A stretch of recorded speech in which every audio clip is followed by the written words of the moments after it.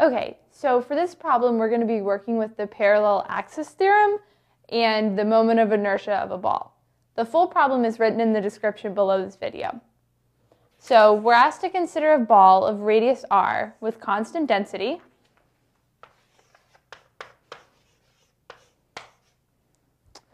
uh, where m is obviously the total mass and v is the volume of the ball. So we're supposed to use the parallel axis theorem to find the moment of inertia of the ball about an axis which is a distance d from the center of the ball. So I've already written the parallel axis theorem down for us, but basically it says that that moment of inertia around an axis some distance from the object is equal to the moment of inertia of the object when the axis is through its center of mass plus md squared, where d is the distance from the center of mass of the ball to the axis it's rotating around, and m is still mass. So let's recall how we find moment of inertia. It's really big.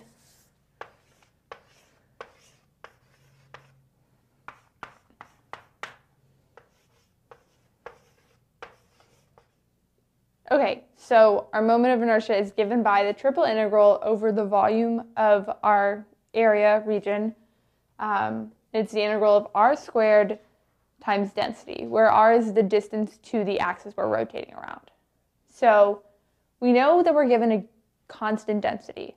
So I can replace this density with m over v, and I'm going to pull it out of the integral.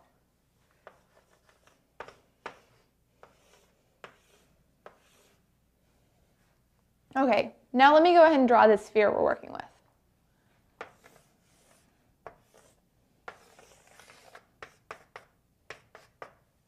So I'm given a little bit of freedom as far as what axis I want the ball to rotate around.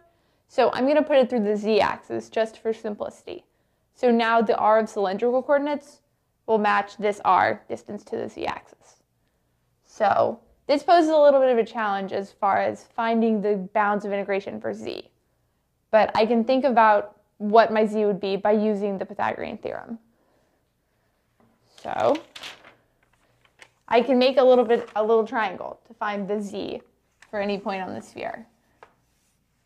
So obviously the horizontal component is going to be z, and then the hypotenuse is going to be big R, you know, whatever the radial distance is.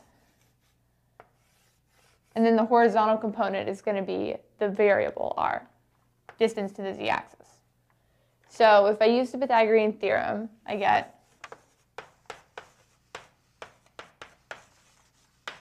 little r squared plus z squared equals big R squared. So I can solve for z.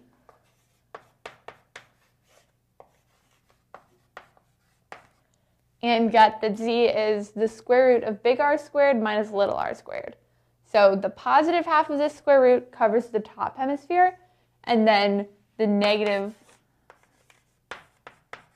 square root covers the bottom half. So those are my two bounds for z. And let's set up this integral. So I want to integrate with respect to z first because this, these boundaries are a function of r.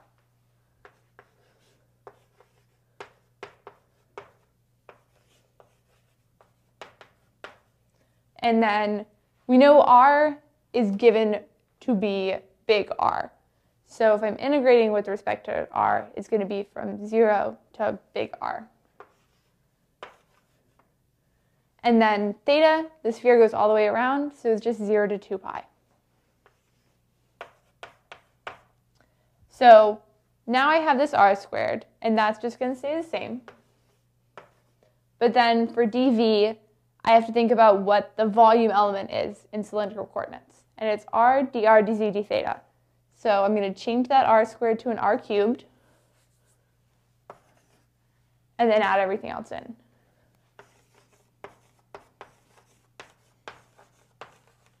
Okay, now let's go ahead and start by integrating with respect to z. Well, r cubed is just going to be like a constant, so when I integrate, I'm going to get r cubed z.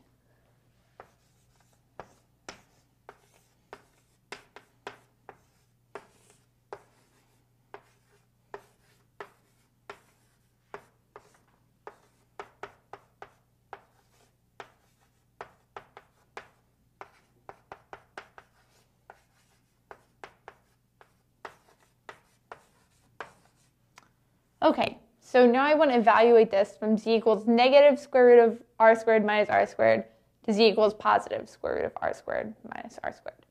So let's go ahead and plug it in.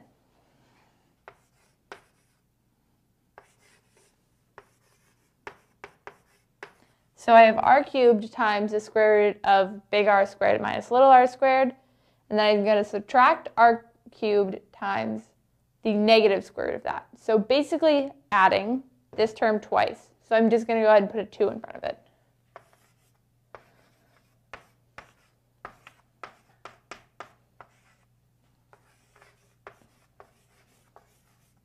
And now I'm ready to integrate with respect to r.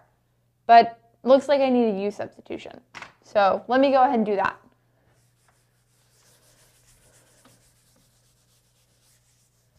I'm going to say that u is equal to big R squared minus little r squared.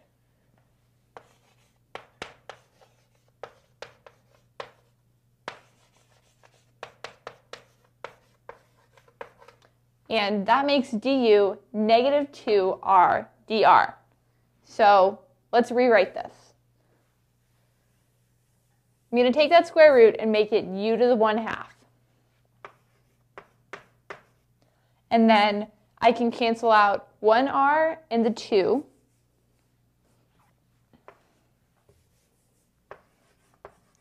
to change the dr to a du. Now I still have a minus sign that I'm working with, so I'm going to go ahead and switch those bounds of integration to make it a little bit easier. Okay, but now I have to rewrite these bounds because I'm working with u now. So I'm going to plug in 0 for r and see what I get for u.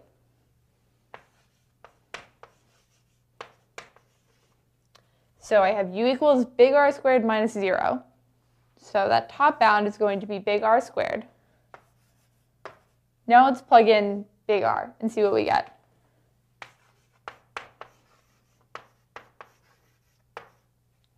So then u will equal big R squared minus big R squared, so just 0.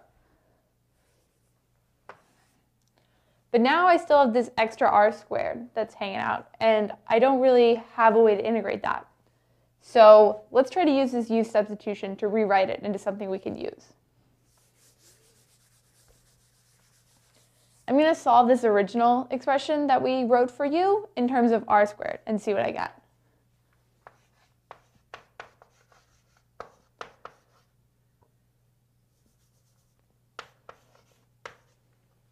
So I have r squared equals big R squared minus u. Well, big R squared is just a constant, and u is what we're integrating with respect to. So that works. We can make that substitution.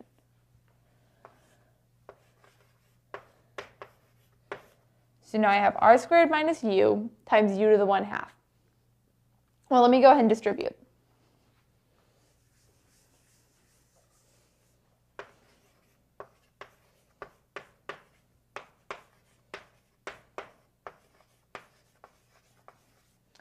So I have r squared u to the 1 half minus u to the 3 halves du d theta. So now we're ready to integrate. When I integrate u to the 1 half, I'm going to get 2 thirds u to the 3 halves.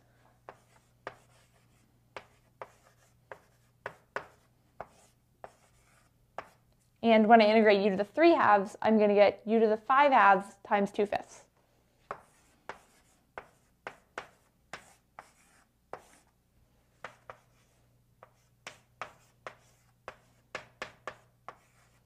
Okay, and now I'm going to evaluate from u equals 0 to u equals big R squared.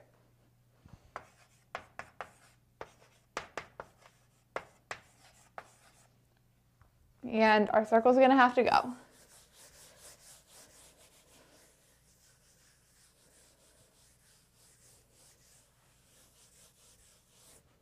Okay, let's go ahead and start by plugging in r squared.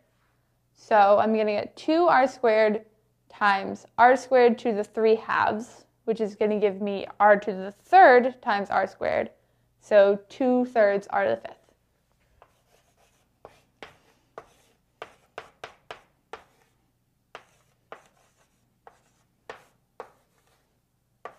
And then here, I'm going to plug in an r squared, And r squared to the 5 halves becomes r to the fifth.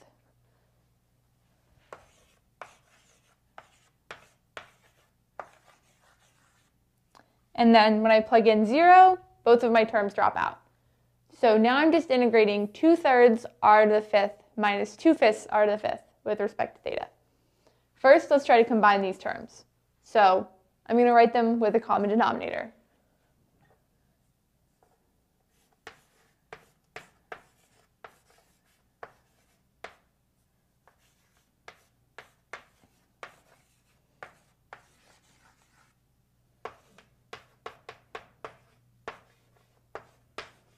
Right? So I have 10 fifteenths minus 6 fifteenths, which gives me 4 fifteenths, r to the fifth.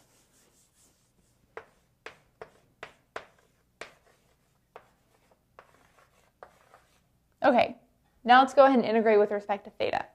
This whole term is a constant, so when I integrate, I'm just going to get 4 fifteenths r to the fifth theta.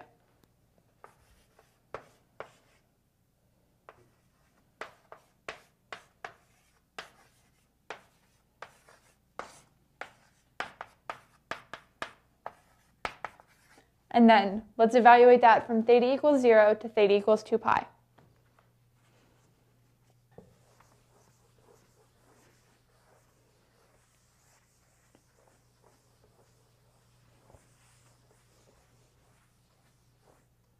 Well, let's plug in 2 pi first.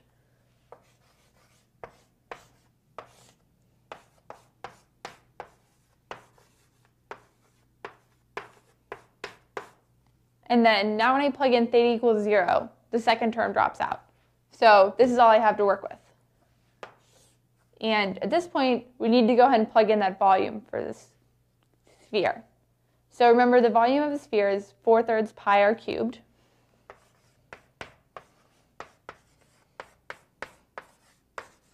And here we don't have a numerical value for r, but we know it's that big capital R.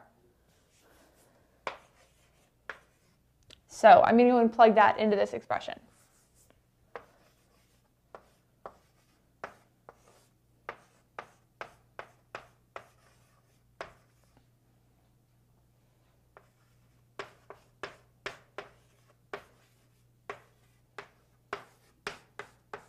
And now I have a lot of canceling out to do. So first, let's do the pies. And then the fours and I can take three r's from both, so I'm left with r squared on top. And the 3 and the 15 can cancel out to make 1 fifth. So if I rewrite this, I'm looking at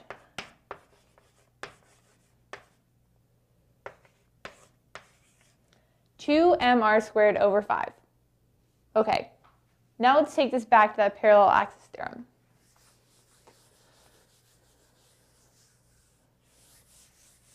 So that 2m r, squared over 5 is going to be this portion of it.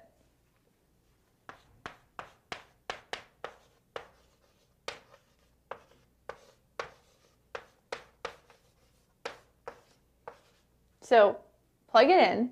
And now I don't really have anything to kind of add together because I don't have like terms. And we're not given a specific distance for d, so d is just going to stay as a variable but I can pull one M out. So let me go and do that.